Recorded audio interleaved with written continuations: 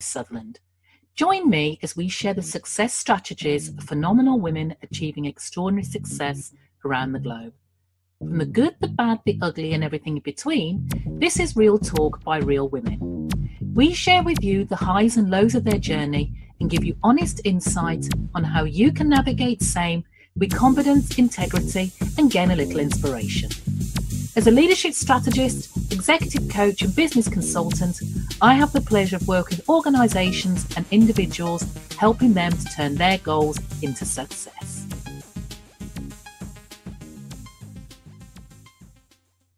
Hi, everyone, and thanks for listening to this week's edition of Phenomenal Woman. Before we kick off with this week's interview, I would just love to say thank yous for tuning in once again and ask you yet again to share the show and share the love to those other women out there, either by rating or subscribing on iTunes or whichever platform you listen to.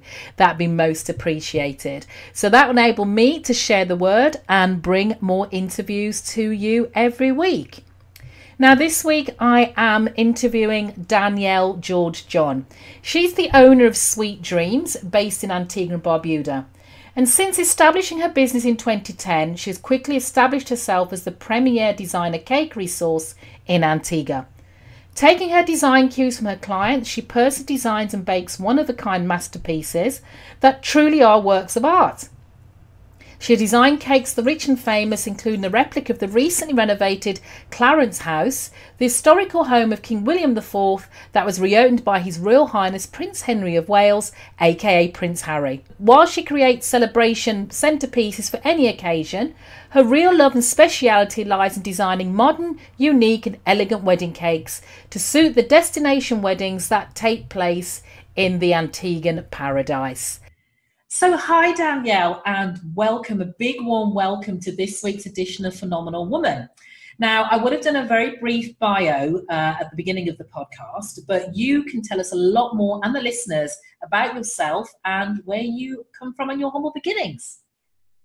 Okay, hi, good day, everybody. Um, well, I basically am a born Antiguan. Um, my I guess my father's people came here in the 1800s, and my mom is, you know, British, and she came here in her 20s. And I've lived here my whole life. Um, I did have an opportunity of seeing um, more of a humble upbringing right. compared to my relatives, uh, a different upbringing. We'll just say that. okay, okay. I've just always kind of been more of an artsy kind of a person, and I love Antigua and you know I want to eventually put Antigua on the map for other things that we offer as well, like cakes. Excellent. So because because you you do actually create some rather beautiful and very artistic. And I have that is the word artistic. I'm not sure if I can actually want want to cut into them because they look so pretty. Cakes. So what has been your career? What has been your key motivator for getting into this line of business? I think it's a number of things. Um, I've always, you know, been in the kitchen watching both my parents. You know, my mom would be more of the baker, and my dad would be more of, you know, the chef in terms of he would do all the local dishes. Right, right. Whereas my mom would do more British dishes, and she would be more in, you know, like a recipe. And my dad is just like, no, put in, have to put in your onion and your side and thyme and this and that or whatever. I always enjoyed being in the kitchen. Okay and I've always, from ever since I can remember, I love to scribble on, and you know, I I remember distinctly being very small and scribbling on this piece of paper with a pen, and I thought it was amazing. Gave it to my mom, like, "Mom, look what I did for you." you know, um, always loved my art classes or my craft classes when we had different, you know, Mother's Day or Father's Day, Christmas yeah. kind of thing. We always had to do some kind of cards or some kind of little art project. Going into Christ the King, same kind of thing. You know, art was actually a subject, and yeah, I just kind of more took to that side as opposed right. to the book art. But we spoke off. We, we spoke off air, and um, one of the things you said to me before was that you didn't actually. That wasn't your first career choice. So how did you fall? How did I say fall? But how did you progress out of corporate life? Into mm-hmm. into bake into baking? Well, you know, even before I started working, yeah, uh, I wanted to do cakes, and um, you know, I came straight out of Christ the King, went straight to to college in Miami. Still had no idea what I wanted to do, and I just kind of came back and I worked, you know, at a sports betting company, which was, you know, the thing to do yeah. because it was good money and whatever. But I just kind of always felt like I had reached my limit in that. Like I just needed right. to do more. Yeah. It was just became monotonous. Yes. And um, but before I had gone to college, I really wanted to do cakes, and it was just because I had I had watched a a TV program called Death by Chocolate one time, and I saw them pulling sugar and stuff like that, and I thought it was so amazing, and I wanted to try it, and of course, no, I couldn't try it. It was hot sugar, and I had experienced hot sugar burns before, and it's like my mom was making creme caramel once, and she poured the caramel in the bottom right. of the ramekin, and she's like, Danielle, don't touch it. As soon as she turned her head, I, as soon as you say, "Yeah, don't touch," gonna touch oh, and it, it really did hurt. so um, I spoke to a friend of mine's mother who did cakes. Right. Right then and there, she was like, "Don't even waste your time. Antigua people don't like to pay for those kind of things because it's not appreciated." Right. And you know, then I had to face my dad with the whole, "I don't want my daughter in the kitchen straight like that." Right. Right. I don't want to. Work, I don't want you working in the kitchen. That you know, so I continued working at a sports book for a while, and um, I changed sports books, and I started to see these. Um, well, I started to explore the idea of cooking more, and my mom right. kept telling me about um, Le Cordon Bleu. And we went to England, we checked it out, and I, I decided not to do that. But then I saw an advert for Le Cordon Bleu in Miami. Right. They they add they in the advert they had cakes in there so i was like that is what i want to do because i had seen some of the cake shows and so on and i thought i really i think that is so cool right. i went for the interview i decided to go eventually and i realized that they didn't really focus on the cake stuff they focused more on like the pastries and you know things like croissants and puff pastry and breads and you know like plating desserts and things like that, or like European style cakes. And that's just really not what I had in my mind because, yes, I can be. I like to look for shortcuts too, right? So the thought of me making a hundred plated desserts does not thrill me. Right, right. At all. um, so I just thought, you know, making one cake with lots of nice decorations okay. would be something that I would like to do. Excellent, excellent. So I just I ended I had to do an internship and I from the beginning I had to choose somewhere and I found a place in Hialeah who did amazing cakes. Right. It was exactly what I wanted to do. And I went, I did it. She took me on as her last intern. She said, I had the last intern that I had, I promised myself I was not going to take on anymore, but you seem passionate, so I'm going to take you on. And she actually ended up mentioning a couple of times that she would love to hire me, right. but because you know of uh, visa issues and so on, yeah, yeah, yeah, yeah, it wouldn't have worked. So I just came. I learned the basic stuff, and yes. I came and said, "Okay, well, you don't waste off your parents' money, so you have to do it."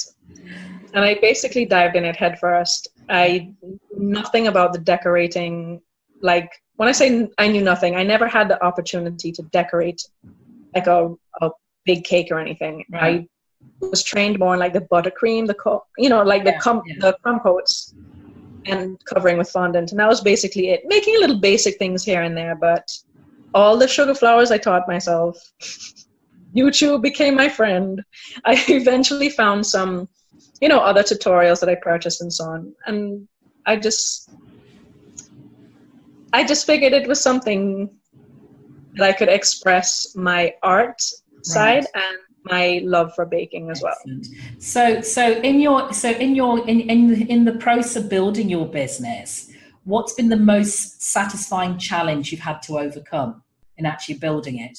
I would say winning the appreciation or the acceptance of Right. a lot of people that I don't think would have necessarily Right.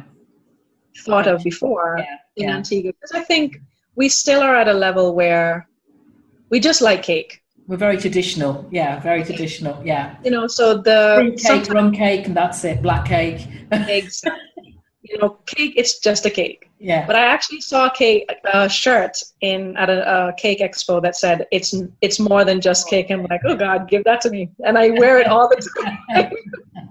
I wear it all the time because it's true. There is cake, yeah. and there is more than just a cake, Right. and that is what I pride myself in Excellent. providing. Excellent. And we were talking again off air about um, confidence and the Mhm. challenges around confidence. Now, some of us are known for maybe even self sabotaging and undermining our own abilities. So, how do you navigate your own personal confidence issues and kind of get out of that cycle? I, th- I mean, I think self confidence, as we even said earlier, there's different levels of confidence Yes. and confidence in different areas and so on. And it's so funny because um, at one point in my life, I suffered a lot with anxiety. Right. And I had dealt with a situation which brought on this anxiety that, Okay. you know, I did end up seeing a psychiatrist about. It. And when I finally decided to do this, Yes. he looked at me and he said, "How funny that you, you of all people, would choose a career that directly puts you out there in the public eye to Yes. be criticized." And I thought about it, and I was like, "Well, I may have my own self confidence issues Mhm. in terms of me as a person or my looks or whatever, but." I think this is something that has allowed me to kind of shine in a way where I might suppress in other ways. Yes. Right. Right. So it is a part of my creative side where I still don't like to work in front of people. Like I can't work properly if people are watching me. okay. Okay. Um, but it kind of I'm giving you a piece of me when I give you my cake. Like I'm giving you a piece of my creativity or Yeah. my my hand. Yeah. You Yeah. know? Yeah. And even though sometimes I might look at a cake that I've done and I think, oh, you could have done better than that. You know, especially when you have a customer that is so particular and you're like, oh my God, is it going to be up to their expectation? And then you deliver the cake and they're like, oh my God, thank Yeah. you so much. And it's like, whew, phew. Yeah. like, yeah. okay. You know, and it, it, it makes you, I mean, it makes you happy, obviously, but it, it gives you a little reassurance that Yeah. Yeah. do your thing. Yeah. Like- it's about working on working on your self belief, just making sure you you, you you believe in you, which is often um, a challenge for for for many of us. And again, at different times, and like you say, depending on what areas we're actually we're actually looking we're actually looking at. So so if you so Danielle, if you could go back and change one thing, what would it be and why? I really don't think I would change anything apart from maybe the age that I finally decided to do something. Okay. Okay. Even saying that, I don't think so either because I think the age that I did go, I was definitely a little more mature. Right. Um, I don't think I would really change anything Okay. because I think everything that I've gone through in my life yes. has helped me learn some important lesson that I needed for the other thing. Right. Right. Right. So I really don't think I would change. And trust me, I've made plenty mistakes in my life. You know, but I honestly, as as much as sometimes I'd like to regret certain things, yeah. I learned so much from that, And that's the key. you know, um, situation that I would never change it because I really think I've become a better person each time. Excellent. You know, and that is my goal. Yeah. I don't want to ever regress. I want to always progress. Fantastic. Fantastic. And that's and that's the key. It's actually learning from it because like you say, if we don't keep making the same mistakes, then we don't deserve to progress. You know, we need to learn from it. So, Danielle, share with us a success quote or mantra that you use and why it's meaningful to you.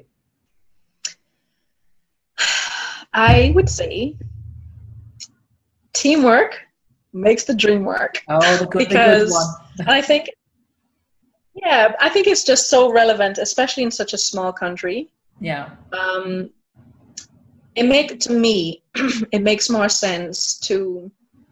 I mean, no, I don't have anyone working for me. Right. I do work for myself, but I think if we all really kind of worked together in this industry, you know, we kind of we can clap hands with each other. Mm-hmm, mm-hmm. You know, DJ, you as a floral um, florist, you as a, a, a wedding planner, mm. you know, you as a caterer. I'm not going to kill myself to try and, you know, load down my head with catering yes. plus uh, wedding planning. You know, there's so many different aspects of an event, uh, which is the uh, industry that I'm in, that it's not going to take anything off of me to say, okay, well, I have a, a DJ friend yeah. um, that I will recommend you to, or I have a florist that I can recommend you to, or I have a cake person that I can recommend you to. Um, we all can eat. Yes. You know, if we all work together. Yeah. Instead of trying, we just have such a horrible thing in Antigua, this crab in a barrel syndrome, which is I really would love for us to get out of that whole mind frame because yeah. I'm not gonna I'm not gonna be successful by taking money out of your pocket. Right. You know, um, I just believe in the whole. You cannot expect positivity from any kind of negativity. Yes. Yeah. So I'm not gonna try and like downplay this person or whatever just so that I can yeah. make a couple extra dollars. Um, but definitely, if we all worked as a team, I think we could be so much more successful excellent, in our own small businesses in Antigua. definitely. So the regionally, definitely the teamwork making the dream work. Yeah. So, so, Danielle, what has been a book that has influenced you through your career journey, and um, why have you chosen it? And what would have been what would have been your learning? Okay, I'm not going to feel so self-conscious answer this because I'm going to admit to you I'm not a big Fun. person. That's great. Some and people are. Some... Probably why I do cakes. no? um, maybe if I was a, a bigger fan of reading, I probably would have made an amazing lawyer. But as I read before in Yeah. Celestine Prophecy, um, nothing happens by nothing's coincidental. Yeah. Everything happens for a reason. Yeah. So this might not be my calling as a, a cake decorator, Mhm. but I do think that I will. I would like to create a platform for myself Right. of influential stature that I could then maybe answer my calling, whatever that might be, whether Yeah. Yeah. you know, uh, in some kind of charity or some kind of I don't want to say politics because I think I would lose my mind, but I do love politics. So, you know, you never know. I would love to influence younger people. So um, I would say the Celestine prophecy with the whole thing. The whole idea of the book is that nothing happens right. like right. even if I'm passing you on the side of the road and I make eye contact with you, there must Yeah. be some kind of message why. that I need to get from Yeah. you. yeah. I believe in that. So, so you so you so you so you're not a broad reader. So how do you get your inspiration for creating your cakes? Pictures.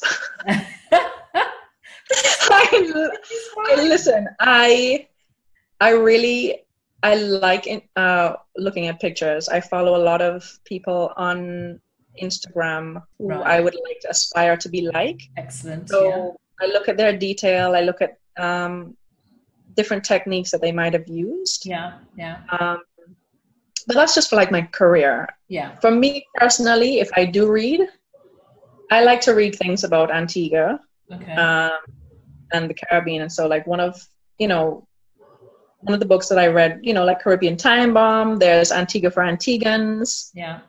Um, there's a couple more that I have to read as well, but I kind of like that kind of thing. Yeah, yeah, yeah. So I'm not like someone to just pick up and read a, a random novel or anything right, like that. Right, right, right. So, so if you could, Danielle, if you could choose your own mentor, who would it be and why? Cake related or whatever, just in life? Whoever, whoever it is in life, it could be life, it could be cake. It's entirely up to you. Who would it be? You got one, one person you can choose for your mentor. um,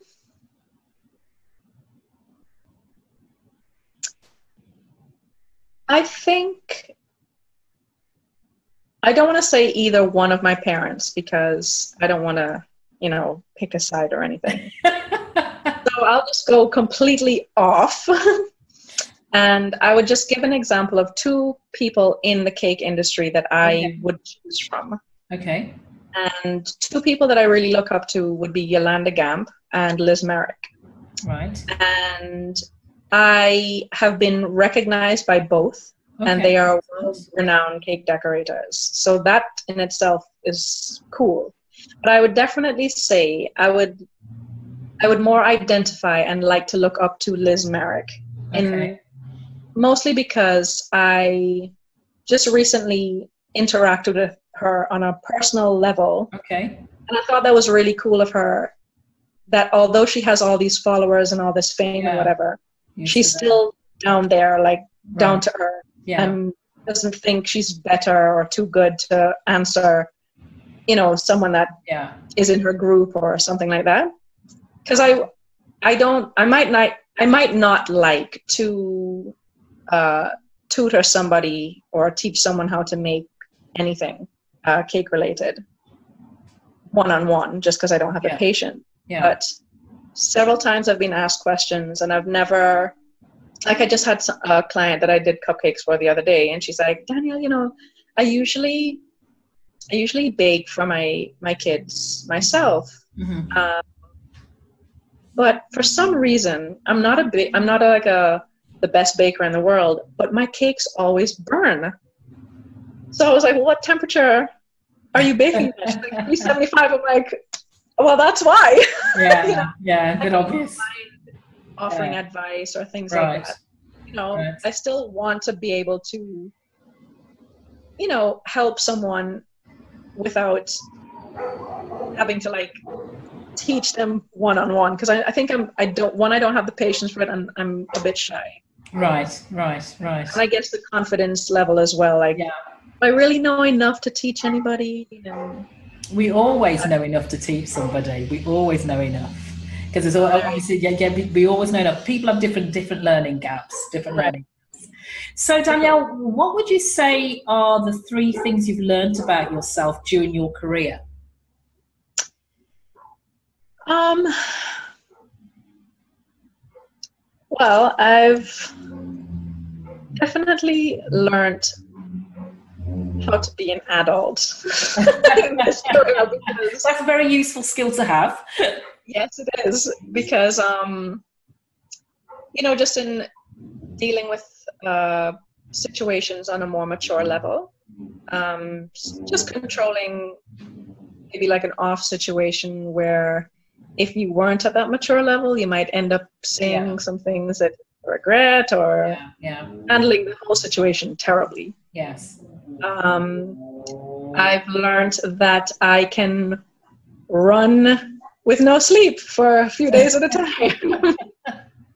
and um, uh, what would be a third thing? That although I've come very close to giving up, right? Um, I do have that little extra thing inside that just says, "Don't you okay. dare." Okay.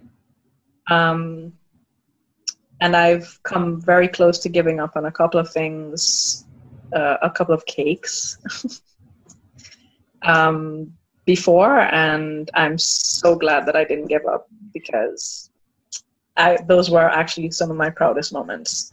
So, what pushes you at those moments? What takes what what stops you and says, "Don't do it. Carry on, Danielle. Push through." What stops you? Um, what else am I gonna do? I'm gonna just turn 35. I can't go back to school. you know, like I don't have the discipline to learn, like to have um, do online courses. I would never dream of asking my parents to send me back to school. Right. Um, but because I've come so far in creating a name for myself, yes, and because I've come so far in developing my skills that I I would have never thought, yeah, uh, ten years ago that I was able to create some of these things yeah. that I've done before. I actually yeah. would have never thought that I would have even thought to do that. right, right. Um, maybe like 20 years ago. So, um, well, I guess I could say a, another thing that I learned is that when you reach uh, another level, yeah, you still have more levels to reach yes. after that. Yes, yes. So it's an ongoing process. Yeah, yeah, yeah. Um, the whole key for me is about evolving and keep on learning because you, you exactly you, you always always there's always room for improvement. They say.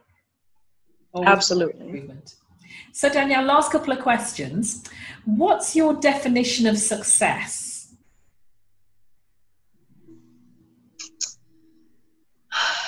Well, um, I I'm going to say that I don't think I've reached the level of success that I would like to reach yet. Excellent. And I would I would still and again like i just said too i don't think i think even when i reach to a level of success yeah. i'm still going to think okay well this is just another stepping stone. To the next level. Something more. Yeah. Um but as of right now i mean creating a name for myself i think um, in an industry where people do more often than not say it's just cake yeah. you know? Um, so when I have people that do rally behind me and say, no, it's not, it's not just cake, you know, like paying for the, look at, look at the quality, you know? Yeah. Um, but I think the best part about the whole thing is when you hand over a cake that you've just finished. Yes. And someone is almost about to break down into tears or actually right. does start crying and is like, yeah.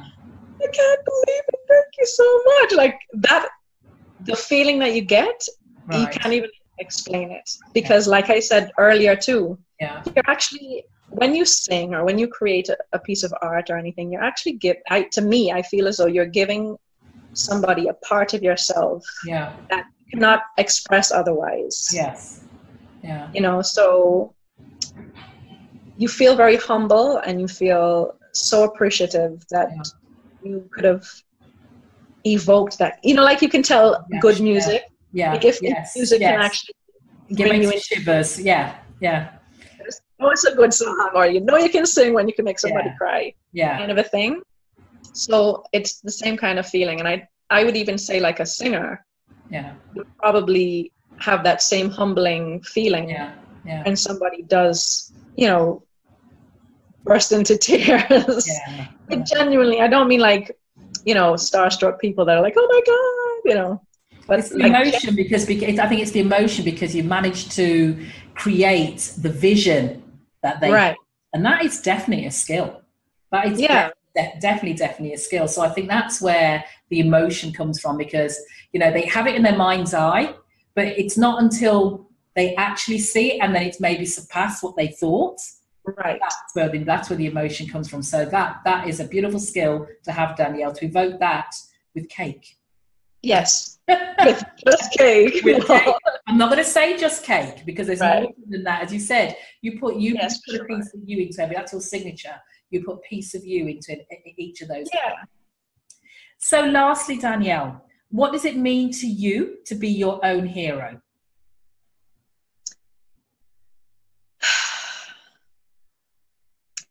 You know, I reviewed these questions, I'm not going to lie, and that one still kind of got me because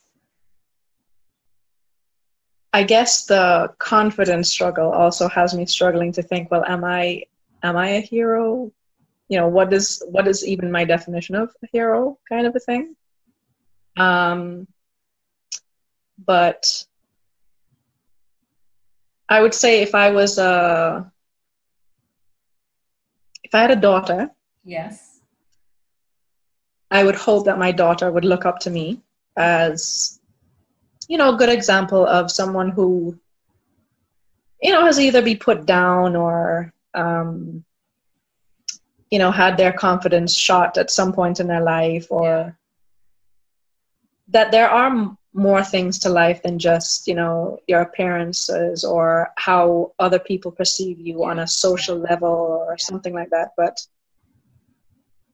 to just look beyond certain things yes, yes. and um, make something of yourself in a positive way that can somehow positively affect someone else okay. so like when i get uh, i get messages sometimes from young girls who you know either want me to teach them or something and i feel bad sometimes to say no i really don't yeah. uh, do that just because i not that I don't want to teach you, it's just that I don't have that skill. Right. Uh, so, but it's very flattering to know that a young girl would look up to me and say, I love what you do. I would love to learn what you do. Um, and I would even have the confidence in you to teach me, kind of a thing, or I would look to you to teach me. So, I think that is uh,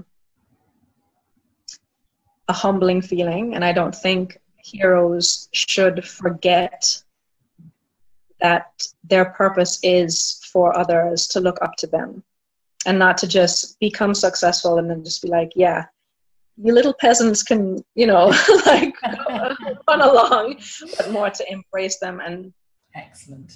You know, it, it is I don't think, even if I was to become like a huge millionaire, that I would ever change the person that I am. And that's lovely. And maybe the slight lack of confidence will always help me stay grounded. Stay grounded, stay grounded, stay grounded. So, so finally, that was my last question, Danielle. So, if people want to get hold of you or want to see your fantastic cakes, um, how can they do that? They can either send me an email. Okay. Um, at Danielle George John at, at gmail.com. Okay. Um, they can Facebook message me either on my personal page or on my uh, business page. Okay. Which is just either Danielle George John or Dan's Sweet Dreams. Um, and that's Dan. then Dan, Dan they can also contact. Yes. Dan with a Z. And then, uh, yes, Dan's with a Z and my website is danssweetdreams.com. Um, Excellent. And then for more pictures, they can just look at my Instagram, which is just Sweet Dreams ANU.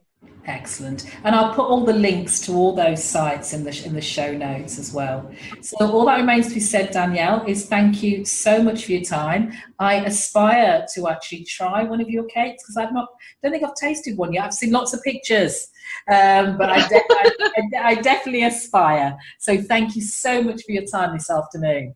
Thank you so much for having me. Thank you. So I hope you enjoyed this week's edition of Phenomenal Woman. And as ever, it's my pleasure to show up here every week and connect with like minded women who want to live their life to its fullest and be empowered to take their career to the next level. I hope you've enjoyed this edition of Phenomenal Woman, and I know you've definitely loved it. So please please, please share this on all your social media networks Facebook, Instagram, and let all the other phenomenal women that you know share in what you're hearing.